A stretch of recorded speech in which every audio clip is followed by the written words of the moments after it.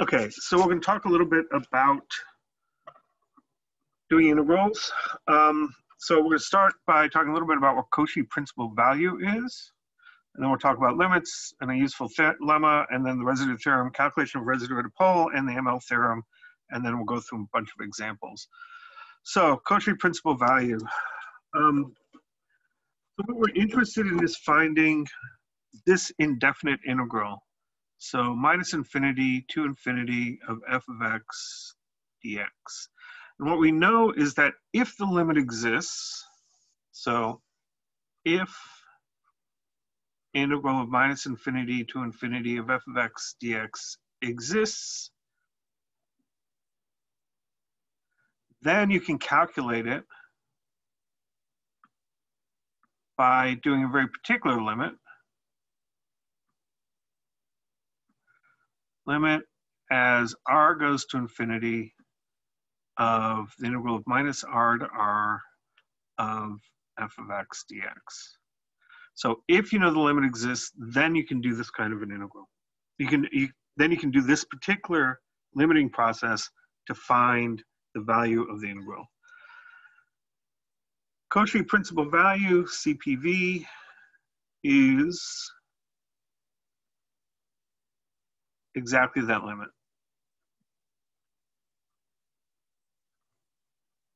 Okay, so that's the what the Cauchy principal value is. If the limit does not exist,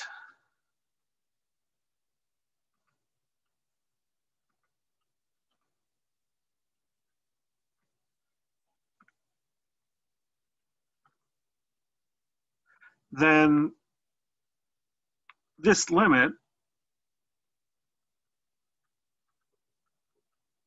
gives you no useful information about whether or not the integral exists or does not exist. And the classic example of that is minus infinity to infinity x dx. You have to do that as 2 plus integrals. And these neither exist. Right? So these neither exist, and so this limit does not exist.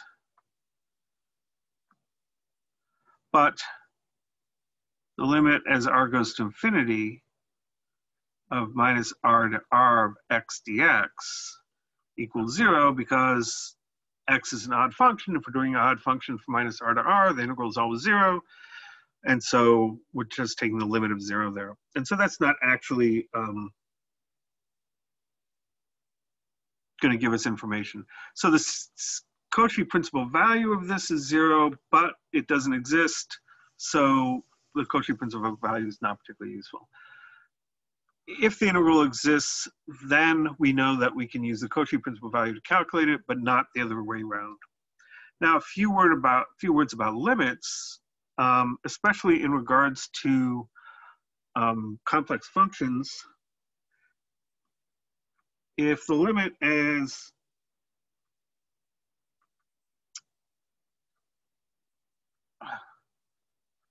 r goes to infinity of some function of r, in absolute value equals zero,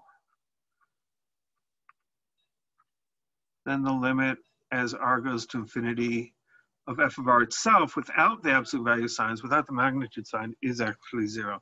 So what this means is, what this part means, is that if we have f of r, whatever it is, and we're taking the limit as r goes to infinity, and that's equal to zero, that means the function is going in towards zero right? And so if the modulus is going into zero, then the function has to be going into it zero. So compare that to limit as r goes to infinity of say modulus of f of r equals one. What's that saying is, is that your function as r goes to infinity is getting closer and closer to the unit circle, right? Because that's modulus equal to one. And so your function could actually be going in there, right? Or it could be actually just wrapping around the circle infinitely many times and getting closer and closer each time. And the limit would still be in modulus equal to one, but this does not mean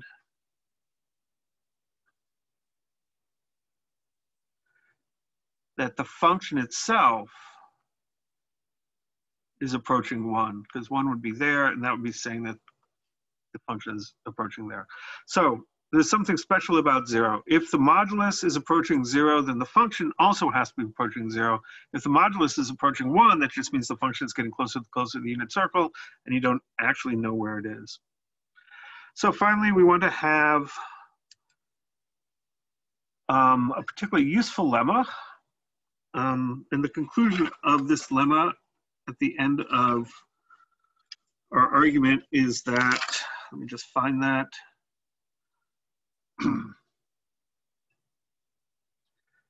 so if p of z is a polynomial, then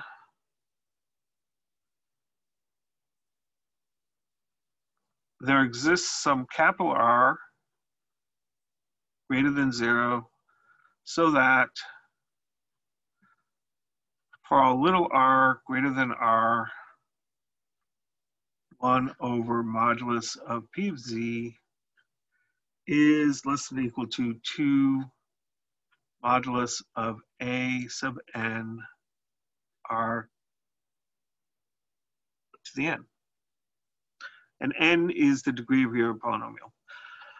So that's a very useful thing. Um, and it's basically saying, right, if you're bigger than a certain radius, no matter what r you're at, I can look at the modulus of 1 over the polynomial, and it's got to be less than basically 1 over the leading term, the z to the n. So an example of how to derive this, we can look at an inequality that we need from, that we'll need in uh, the first problem. So we want to show if gamma equals RE to the IT and 0t less than equal to pi, um, and R quote unquote large, that 1 over 3z squared plus 7z plus z, nope, 7z plus 7 in modulus is less than equal to 2 over 3r squared, right? So 3 is my a sub n, right? I have this 2 floating around, and then instead of z squared, I get r squared. This is what we want to show, right? And so what we're saying is, is that if we look at the upper half circle, right? This is radius r. If I take any z that's on this point, right? So it's got a radius of r, uh, it's got a modulus of r, if I take a z on that, then 1 over the modulus of this thing is going to be less than 2 over 3 times 1 over r squared. Okay, so how do we actually go about showing that? So we need a particularly useful version of the triangle inequality that we saw many, many moons ago well, maybe three or four moons ago, um, that the modulus of z plus w is greater than or equal to the modulus of the modulus of z minus the modulus of w, like that. Okay, so we're going to use that thing. So to show that this is true up here, right? That 1 over something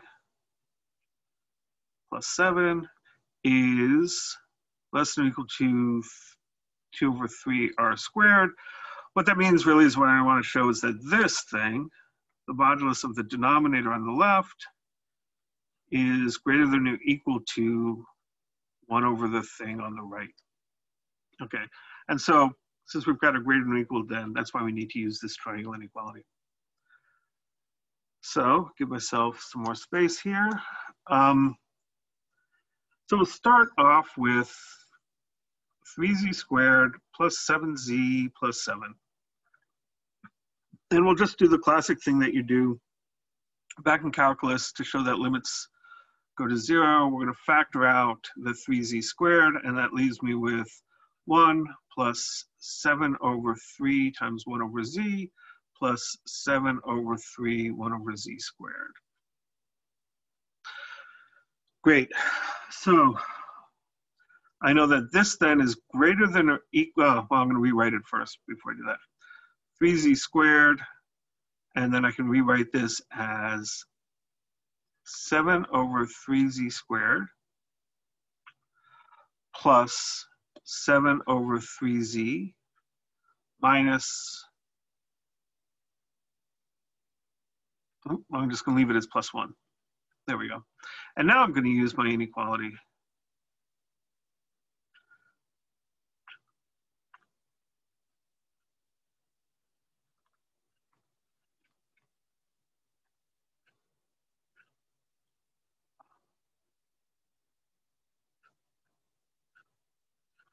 So if we look at our triangle inequality that we had was uh, z plus w is greater than or equal to modulus of z minus modulus of w. My z is the 3z squared plus 7 over 3z, and the w is 1. So the left-hand side is always the same. Ditto, ditto, so still less than or equal to 3z squared modulus of 7 over 3z squared plus 7 over 3z minus just 1 because the absolute value of 1 is just 1. Okay, so good, we have that. But we know how to think about, one way to think about um, absolute values, this is a distance.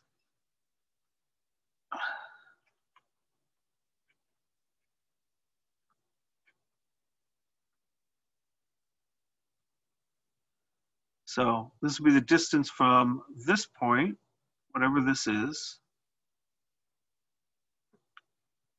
to one, right? And so we can draw a little picture, right? Z is, who knows where Z is, Z is out here somewhere. And then we calculate this number, and that's wherever it is. Put it over here so as not to clutter up my drawing too much. 7 over 3z squared plus 7 over 3z. And then 1 is out here. We'll put 1 out here somewhere. There's 1. So this thing here is this distance. Okay, so, oh, did I get my inequalities backwards right at the start? Yes, I did. Ah, that should be greater than or equal that should be greater than or equal. Okay, so that's the distance from 7 z squared plus 7 3z to 1. And I want to be able to bound that from below. I want to be able to say that that's bigger than something, right? Because I'd like to have a greater than or equal to something here there. So I just have a chain of greater than or equals. Okay, so what can I do with this? Well, the modulus of 3z squared plus 7 3z, you draw this circle that's got the same radius of this. And that point right there is the modulus of, there should be a modulus there, 7 over 3 z squared plus 7 over 3z. Right, so this is a positive real number, this thing, and we want to know its distance to 1. And so I calculate what this number is, I find its distance and that radius on the um, real axis is my distance that I want to bound from below. So what I can do here is say, suppose I can get 7 over 3z squared to be within one fourth of the origin, and I can get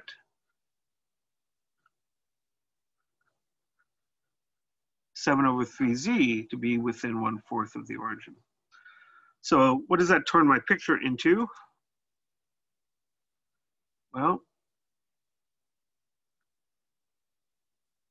here's disk of radius 1 fourth. Suppose I've got 7 over 3z squared inside there. This is 1 half, and 1 is out here somewhere. So 7 over 3z squared is in there, and 7 over 3z is in here somewhere, but they're both within 1 quarter unit of the origin. What does that tell me about their absolute values? Their absolute values are both less than one fourth. So when I add these two together, I get something that's less than 1 half. This is the sum. And then that has to be greater than one half because this distance is one half and we're worried about the distance from the sum to the origin, but it has to be greater than one half. So that means I want to be able to show that I can make this part bigger than one half. Can I make that distance bigger than one half? So that's our goal. Put these two things within one fourth of the origin. And that's actually not too bad to do because if we make the modulus of 7 or over 3z over 7 over 3z to be less than equal to 1 fourth, and I'll put a little question mark over that because I don't know whether or not I can, but I really can, so we'll remove that pretty quickly. That's 7 over 3 modulus of z, and I want that to be less than or equal to 1 fourth which means that I want 7, oops, 28 over 3 to be less than or equal to the modulus of z. So as long as the modulus of z is bigger than 28 over 3, it's a question mark, then I know that 7 over 3 modulus of z is in fact less than or equal to 1 fourth, so I can get rid of that question mark, and then the modulus of 7 over 3z is less than 1 fourth. Excellent modulus of 7 over 3z squared equals modulus of 7 over 3z times modulus of 1 over z. And if I know that z is modulus of z is bigger than 28 over 3, this is going to be less than or equal to 1 fourth, because I know that's less than or equal to 1 fourth, and 1 over z is 3 over 28. And so that's certainly less than 1 fourth. So as long as I have this, then I know that 7 over 3z squared and 7 over 3z are both less than 1 fourth. Now, why is that useful? So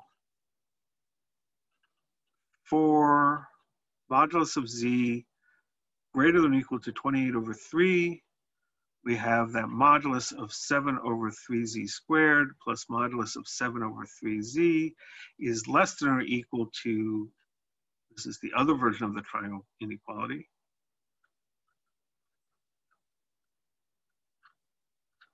And that's less than or equal to 1 fourth plus 1 fourth, which equals 1 half. So the distance from 7 over 3z squared plus 7 over 3z to 1. Well, if these two are within a half unit of the origin, they've got to be at least a half unit away from 1. Great, so we've got what we wanted, which is that this thing here has to be bigger than a half. So what do we have after all this? Modulus of 3z squared plus 7z plus 7 is greater than or equal to the modulus of 3z squared times the modulus of 7 over 3z squared plus 7 over 3z minus 1, but now we've established that this whole thing is greater than or equal to a half. So this is greater than or equal to modulus of 3z squared over 1 half. Great. So inverting 1 over 3z squared plus 7z plus z is less than or equal to, if we take 1 over both sides, we get to flip that, um, 2 over 3 modulus of z squared. And if modulus of z equals r, then this becomes 2 over 3r squared, which was what we wanted. Yay. And what we require is that this r is bigger than, any r bigger than, um, did we get 28 over 3? So for any r that's bigger than a 28 over 3, that's our capital R from the statement way up at the beginning, um, we get that this thing is less than equal to that. And the argument can be generalized to get the full statement. Um, and it, in, it can be generalized in a pretty straightforward way, right? If full statement,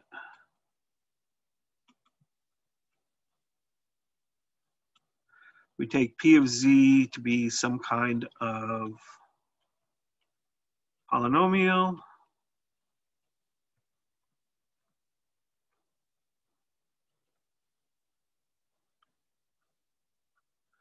Then we can just, you know, follow through that same argument.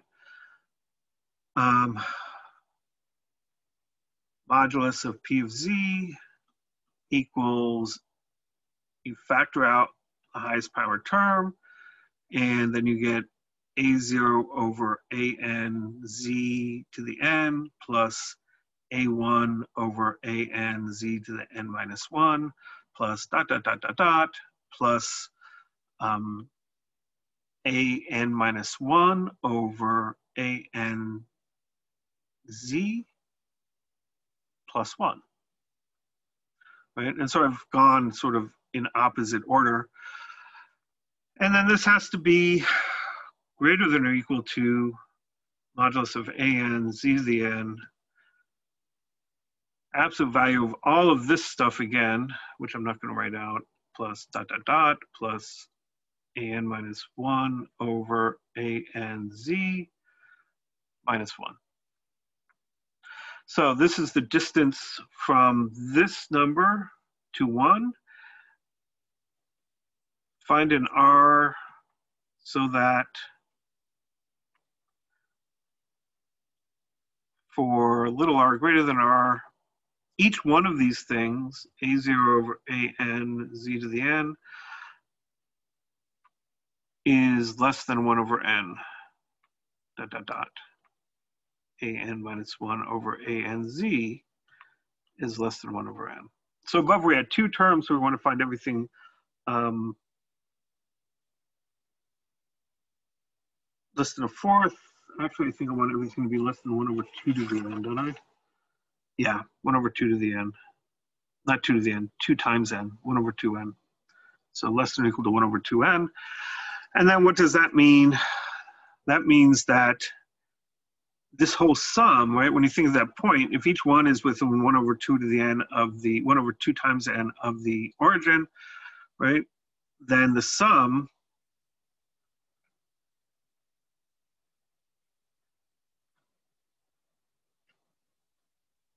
there being n of them is within one half of the origin, which means that the whole distance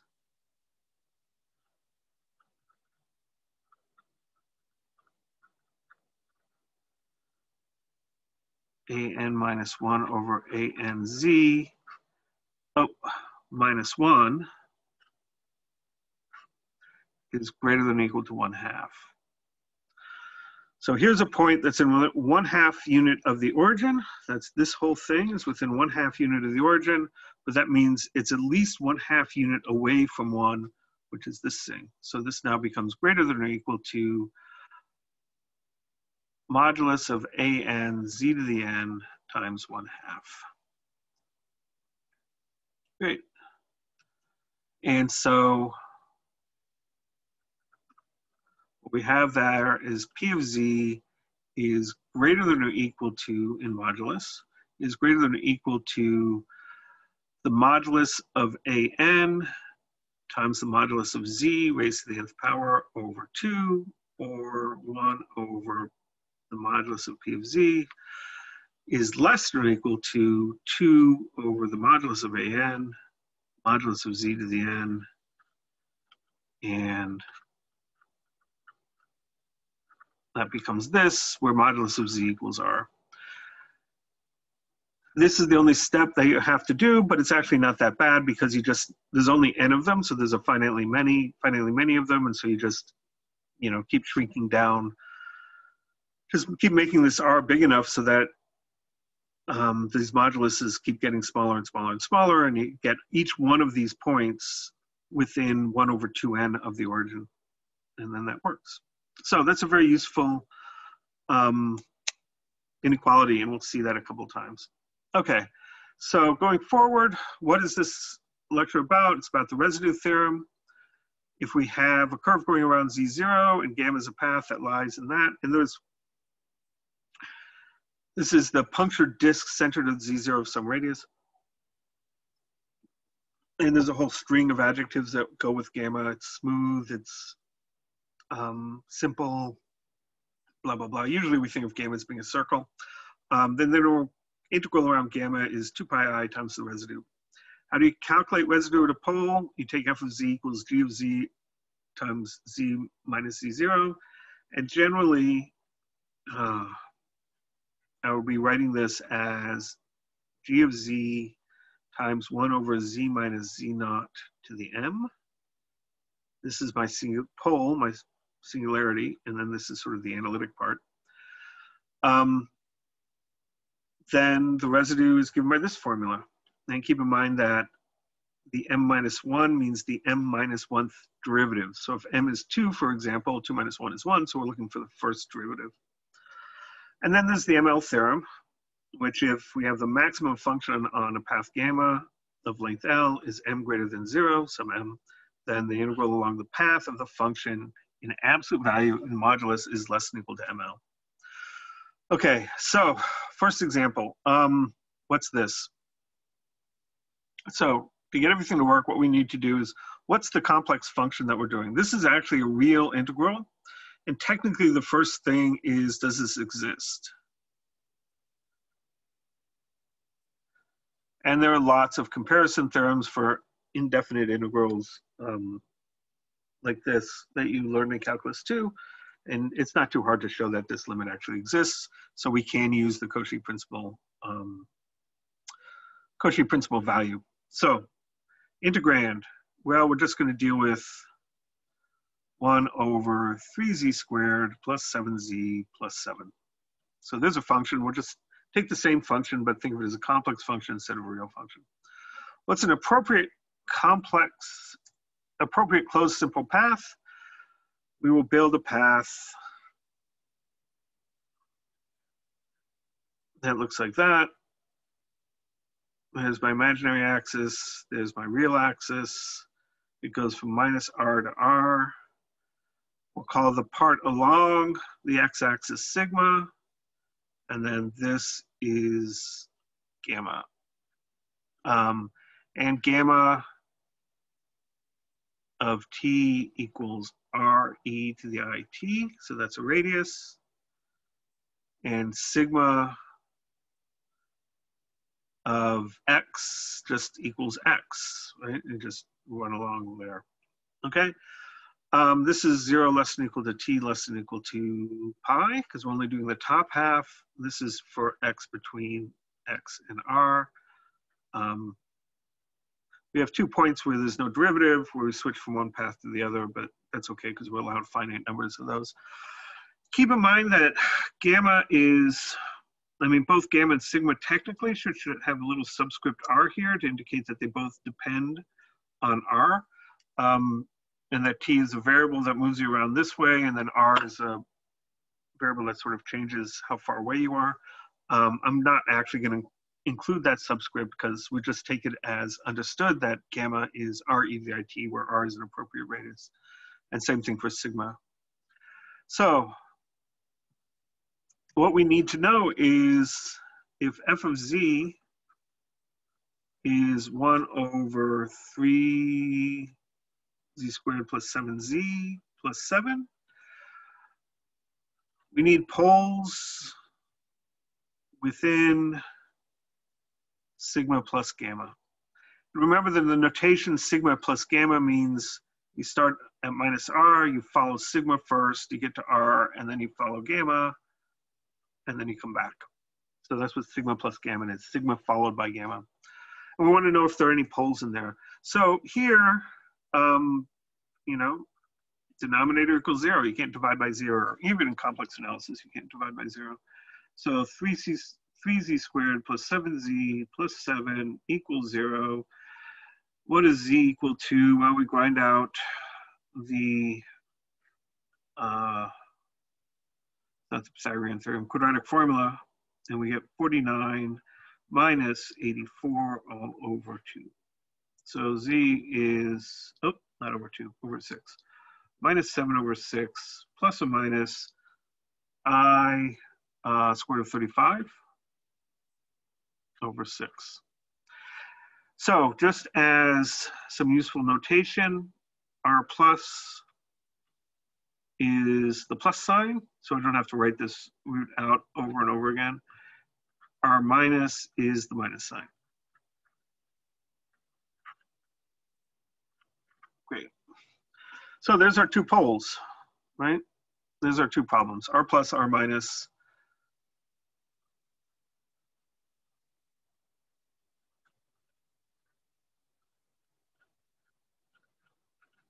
And r plus, right, is above the um, axis. So when r gets big, this, oh, too many r's. For gamma and sigma, as they get bigger and bigger, we're going to include r plus within side sigma plus gamma, but we will not include r minus because r minus is in the lower half plane. So I need a residue of this function at r plus.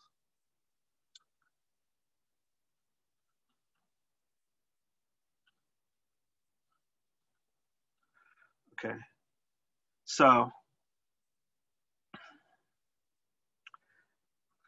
f of z then is 1 over 3z squared plus 7z plus 7. We found the two roots, so it's 1 over 3z minus, let's see, r minus times z plus minus r plus, because that's how quadratics factor. And I'm going to rewrite this as 1 over 3 z minus r minus times 1 over z minus r plus. And again, this is my singularity,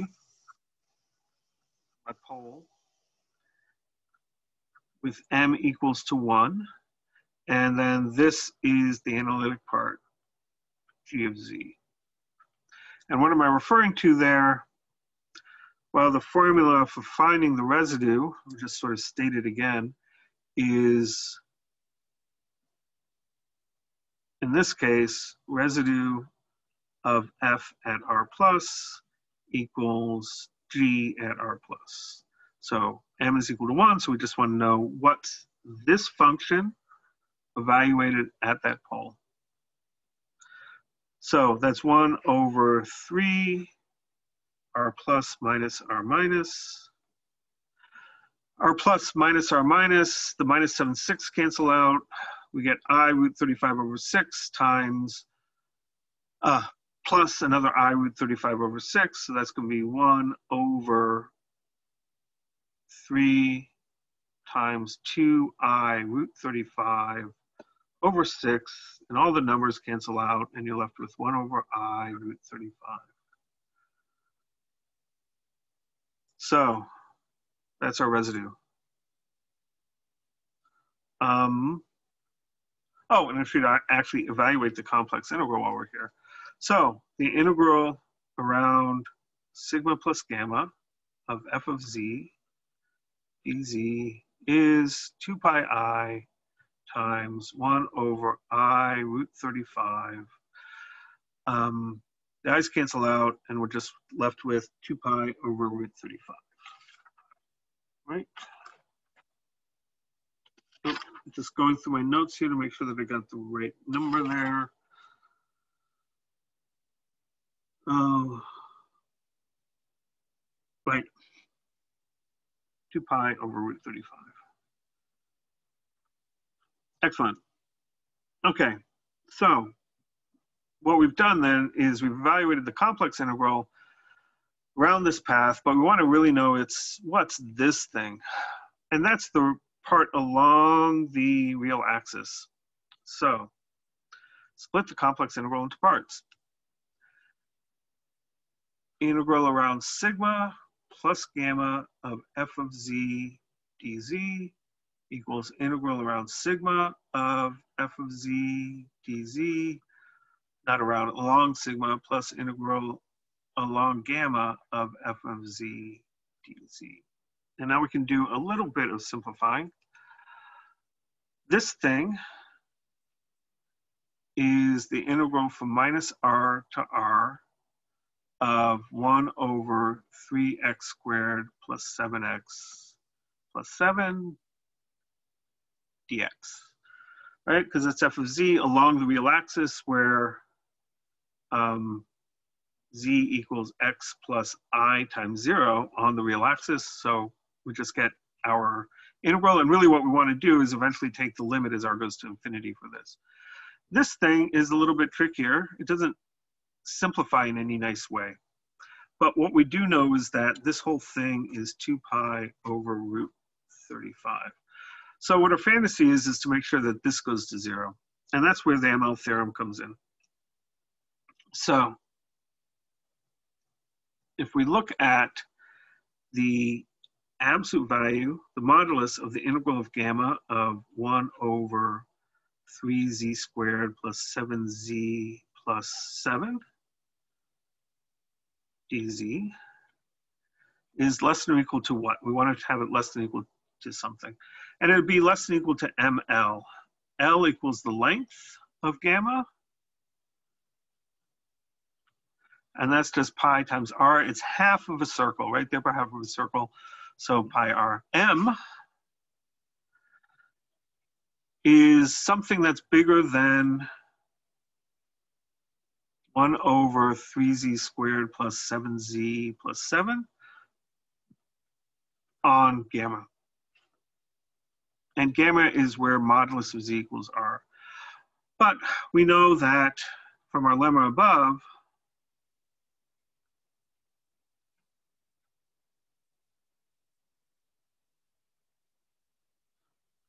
is less than or equal to, what was it, 2 over 3r squared, so a 2, and then just the leading term replaced with an r. And this is for r bigger than 28 over 3. And since we're letting r go to infinity, greater than equal to 28 over 3 is just fine. So what is the limit as r goes to infinity of this integral.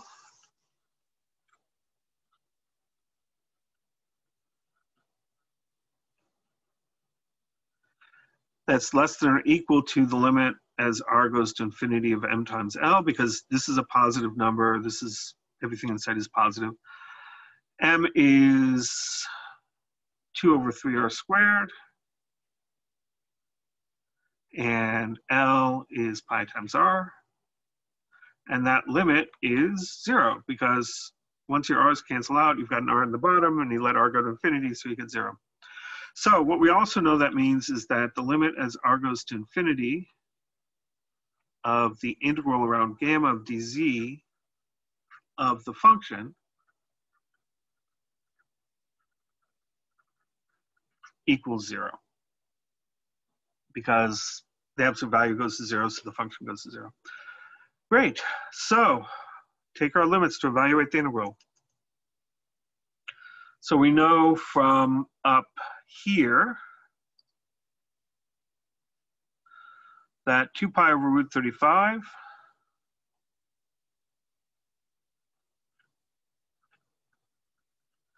equals the integral from minus r to r of 1 over, well, dx over 3x squared plus 7x plus 7 plus the integral from around gamma of dz over 3z squared plus 7z plus 7. And then we take the limit as r goes to infinity of everything, well, of both sides.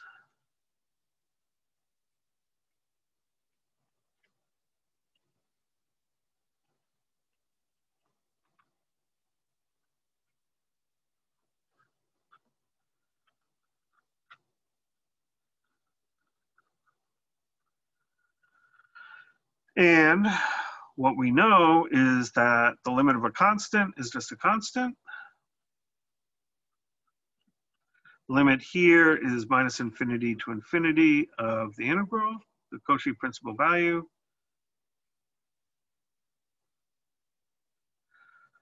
And plus zero. So we have found out what that integral is.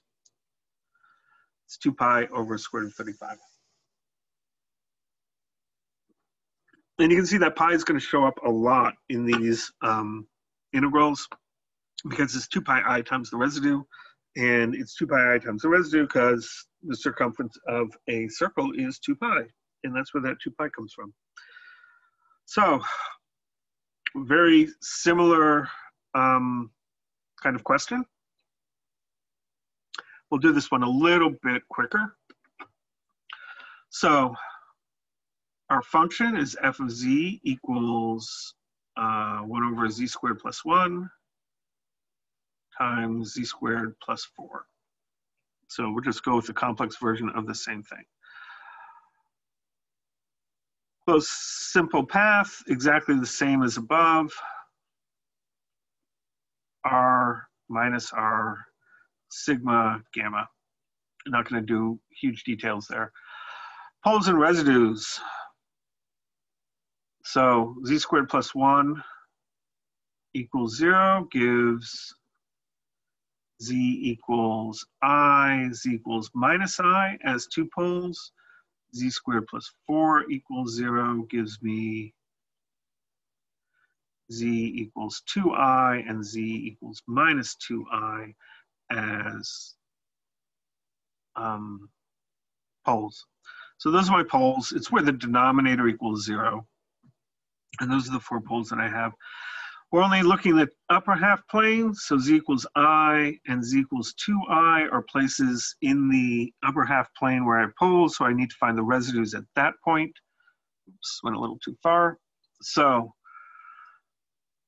to find the residue of f at i, we'll look at our function, which is 1 over z squared plus i z squared, oops, z squared plus 4. I should actually just undo that.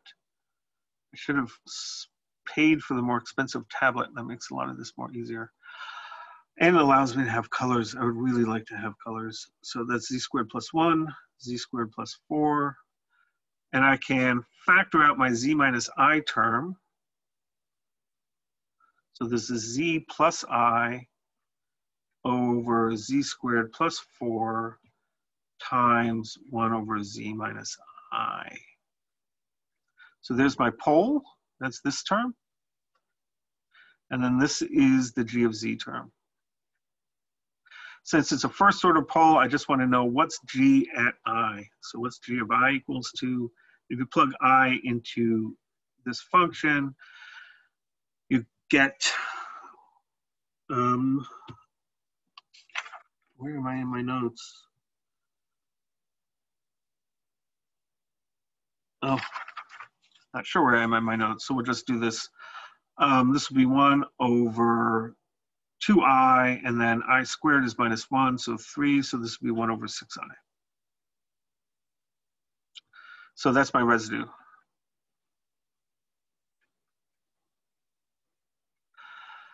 So what about at 2i?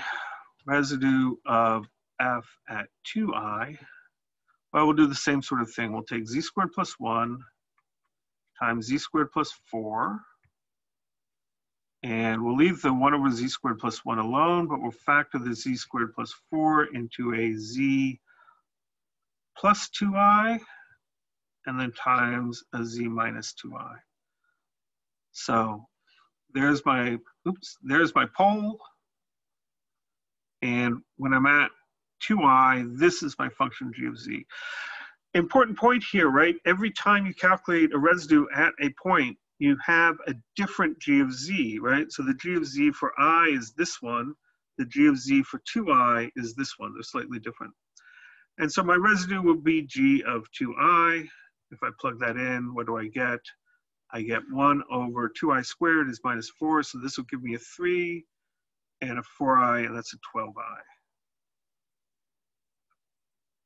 Oh, wait, z squared is minus 4 plus 3, so I get a minus 12i here. Great. And so that's my residue of f at 2i. Okay, so what is the complex integral around sigma plus gamma of 1 over z squared plus 1 times z squared plus 4 dz. That is 2 pi i times the sum of the residues. So 1 over 6i minus 1 over 12i. And that's 2 pi i over 12i. And if we cancel things out, we get pi over 6. Okay, and so you can see where this is going. We're going to get pi over 6 equal to this integral. Um, but we have to make sure that everything works out. So the complex integral gets split into parts the integral sigma plus gamma of 1 over z squared plus 1, z squared plus 4, dz gets split into the integral around sigma over sigma of 1 over z squared plus 1, a dz in the top, z squared plus 4 plus integral around gamma, dz over z squared plus 1 times z squared plus 4. Oof. Okay, this, as before, becomes the integral minus r to r dx over x squared plus 1, x squared plus 4. And again, that's the integral we want to um, evaluate. This integral we want to go to 0 as r goes to infinity, but we have to use the ML theorem for that. So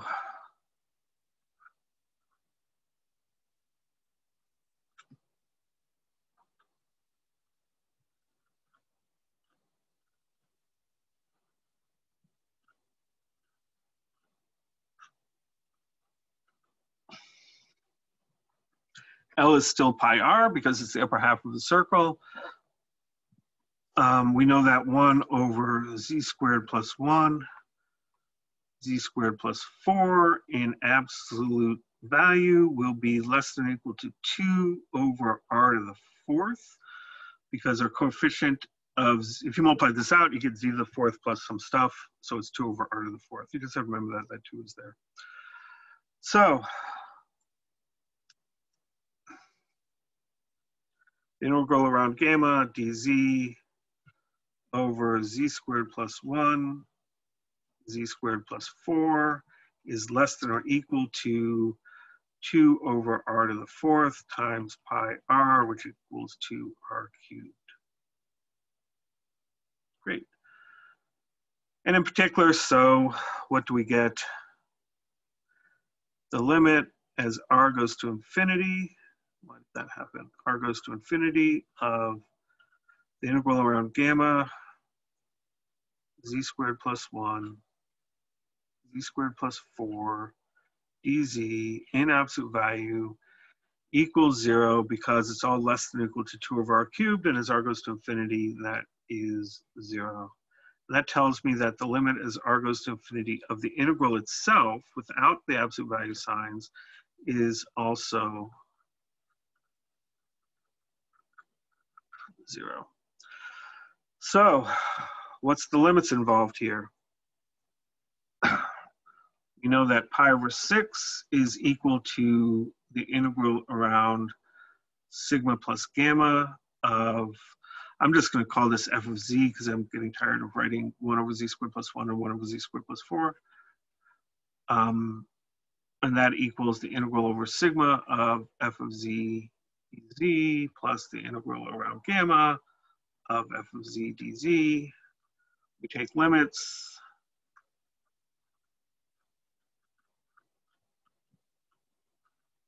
And here I'll actually rewrite this as minus r to r 1 over x squared plus 1, x squared plus 4, that's a dx, plus the integral around gamma of f of z dz.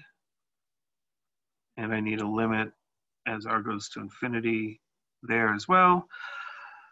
But we know that this is pi over 6. This is our Cauchy integral principal value minus infinity to infinity of dx over x squared plus 1, x squared plus 4, and that that goes to 0. So pi over 6 is our answer there. So when we're dealing with fractions, rational functions, it's really not that bad. It depends on, though, on your ability to figure out what the roots are of the zeros. What about trig functions like this? Cosine ax over x squared plus 1, all right? And here, finding the appropriate complex function is a little trickier. Um, so now I'm going to x squared plus 1. Yes, got the right page. Okay, so can we find the appropriate complex function for this?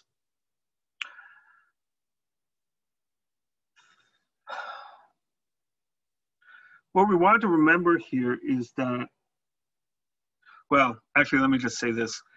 The function we're going to be looking for is e to the i a z over z squared plus 1. That's the f of z that we're looking for. Why are we interested in this? Um,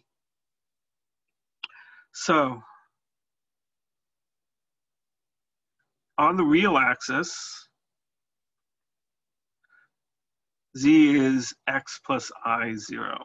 So on the real axis, this is f of x equals e to the i a x over z squared, x squared plus one. And it's important that the y is zero because that means I have no i term coming from z.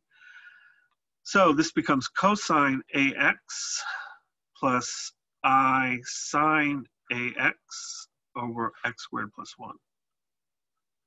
So on the real axis, the real part of e to the i z over z squared plus 1, which is the function that we're working with there, is in fact the function that we want to integrate.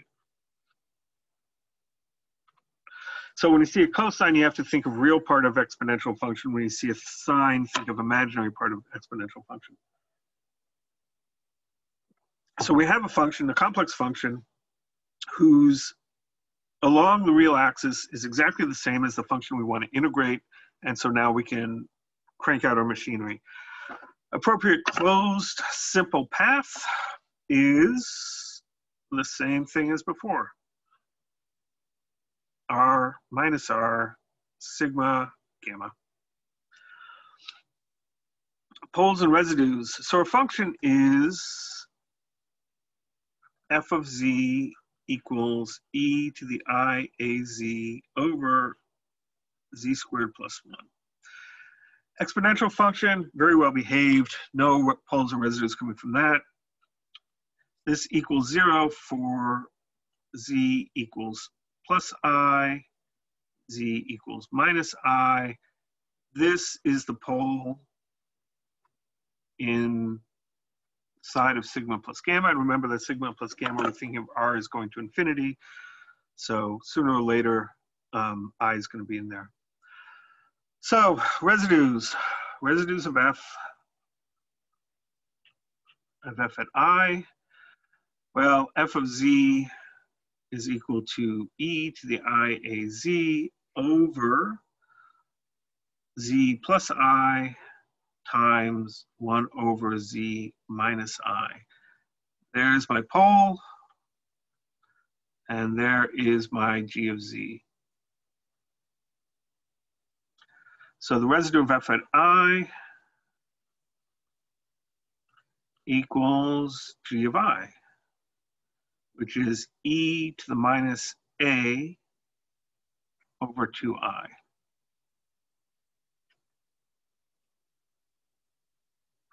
Right, because if you plug in i in for z into this function, you get minus 1 in the top.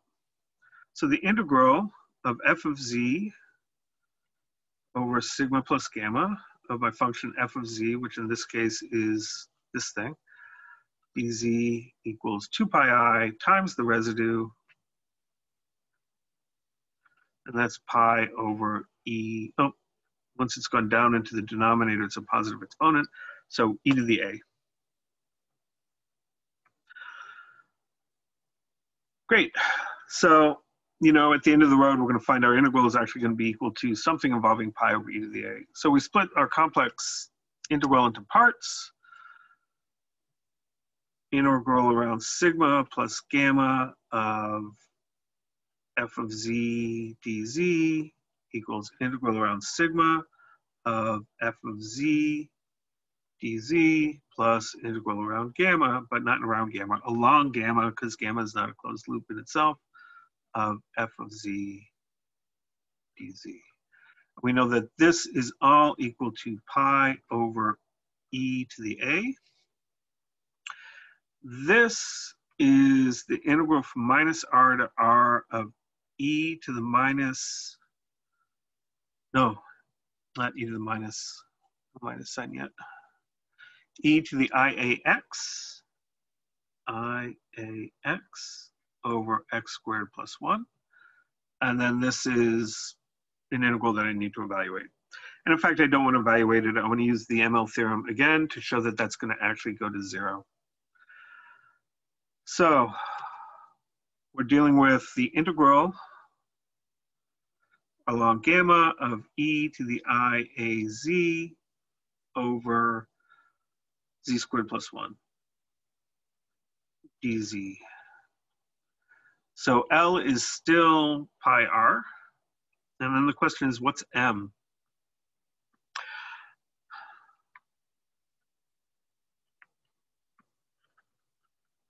So we want to deal with first, um, just point out that e to the i a z over z squared plus 1 in modulus is equal to the modulus of e a i to the z over the modulus of z squared plus 1. We know how to handle the z squared plus 1 in the denominator now. We're going to end up with a 2 over r squared. But what about this thing in the top? So on gamma, z equals r e to the i t, which is r cosine t plus i r sine t. So e to the i a z on gamma is minus a r sine t plus i a r cosine t, right? So if I multiply both sides of this by my ia, I get ia times minus i gives me a minus a r sine t, and then when I multiply by the cosine term, I just get the ar cosine t. Great, so on gamma then, um, e to the aiz equals e to the minus ar sine of t times e to the iar cosine of t, and so finally, the modulus of e a to the z is equal to the modulus of e to the minus ar sine of t times the modulus of e to the ar iar cosine of t. This is 1 because it's on the unit circle, right? It's e to the i times some real number And that means you're on the unit circle, so it's modulus of one. This part, well, remember that sine of t is between zero and minus one. Um, so it's a nice real number. E raised to any number, that's just some nice real number, is actually positive. So I don't need the absolute value signs. So that gives me my um,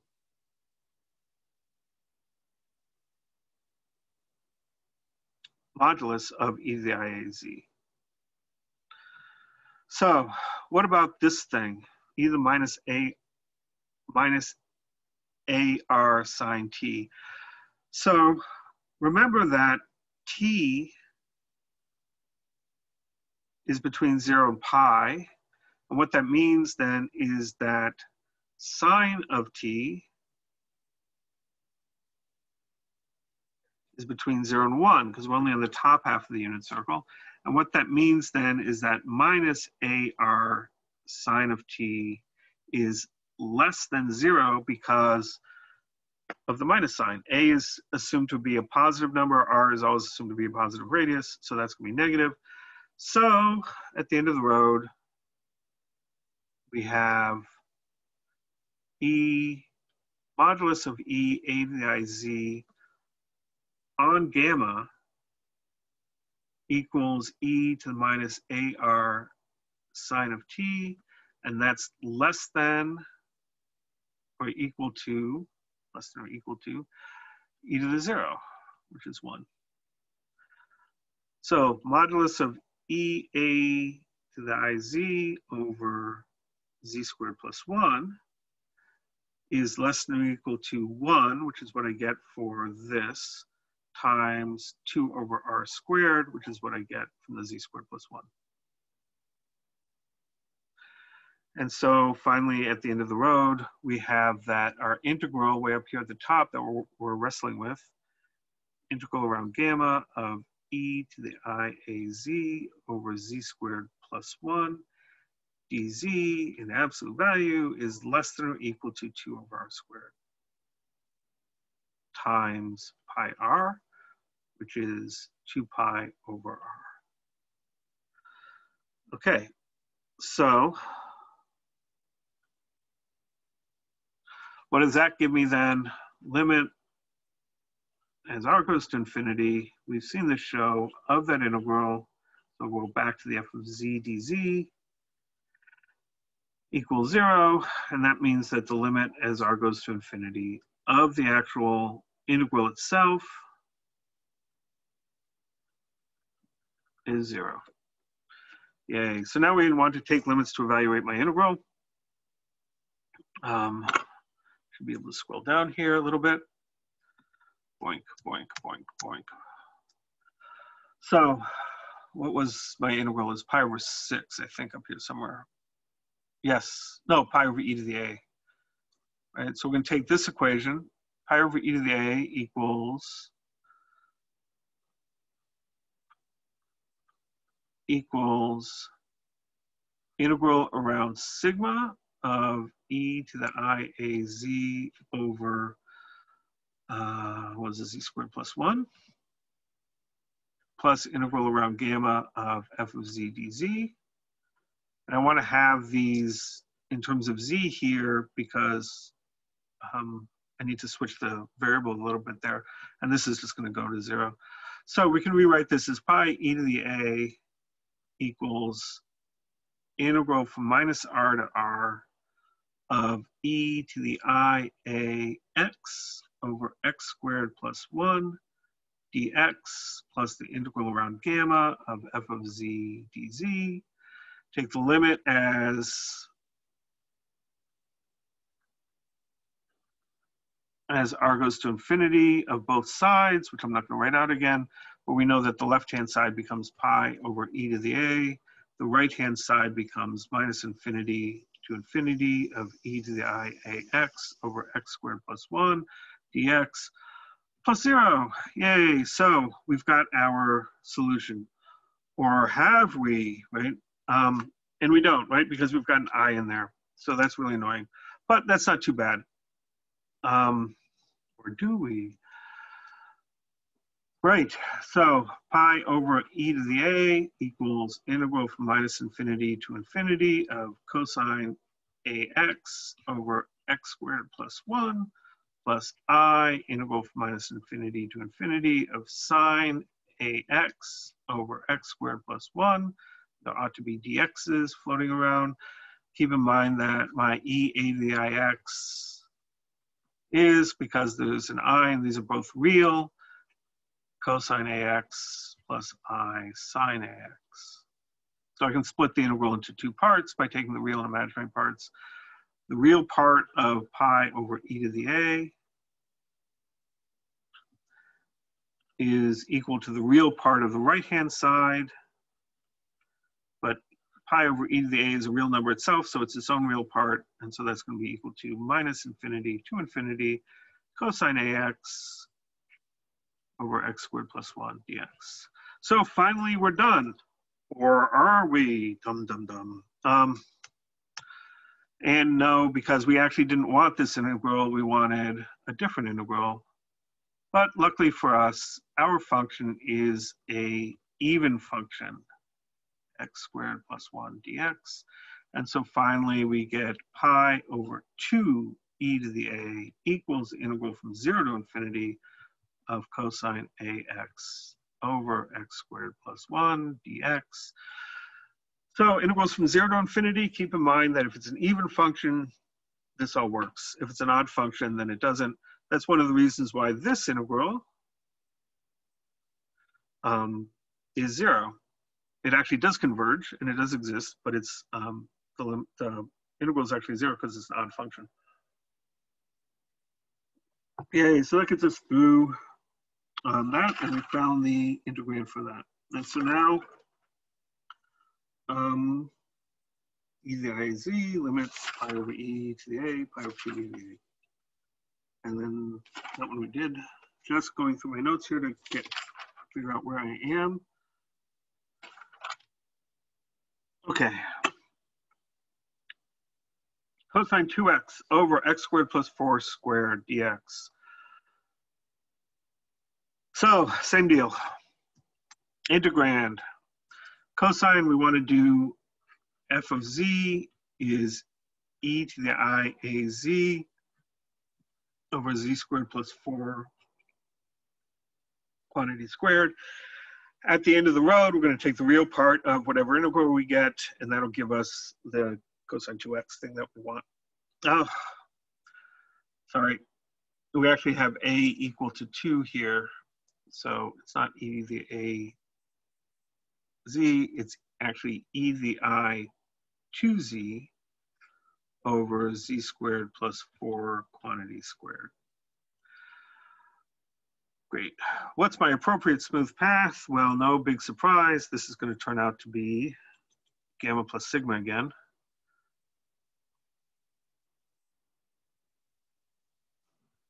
So there's sigma there's gamma. We're going from minus r to r. Find the poles and residues and evaluate the complex integral. So our function is e to the i2z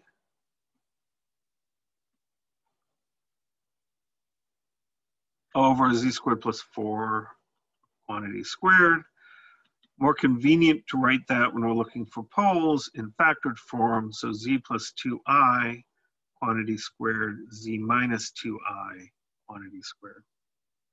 So you can see where your poles are. z equals minus 2i, z equals 2 plus 2i. This one is inside my path sigma plus gamma, so that's the residue that I have to calculate. So f of z equals e to the i 2z over z plus 2i quantity squared times 1 over z minus 2i quantity squared. And note here, that was a little bit of a too dramatic error. Note here that m equals 2, which means we want g prime at 2i, where this is my uh, g of z. Okay.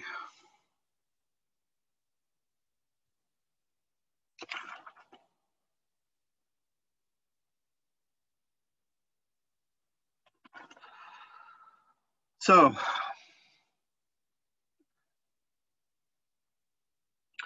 we should be able to figure out what g prime of 2z is because we should be able to figure out what g prime of z is because that's just pretty much straightforward.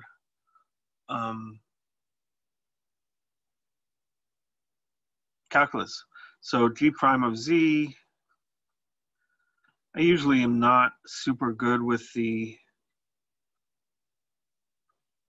um, quotient rule. So I usually do them with the product rule and the chain rule. So I get 2e to the i 2z, and then minus 2 z plus 2i to the minus 3 plus e to the i. Oh no, I don't differentiate there. Apparently I'm not too good at the um, product rule either. So it's 2 plus i e to the 2z times z plus 2i to the minus 2 plus e to the i 2z minus 2 z plus 2i to the minus 3. There we go. So what's g prime of 2i? It's 2 e to the minus 4 times 4i to the minus 2 plus e to the minus 4 times minus 2 times 4i to the minus 3.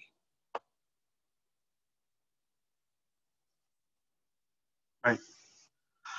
So, uh, doing a little bit of bookkeeping, I can take out my 2e to the minus 4 out of both. There's one there, and there's one there, and I get a 1 over minus 16, and then a minus uh, 4 cubed is 64, minus 64i. Okay. No, yeah, the i stays there. Great. So didn't want to hit that.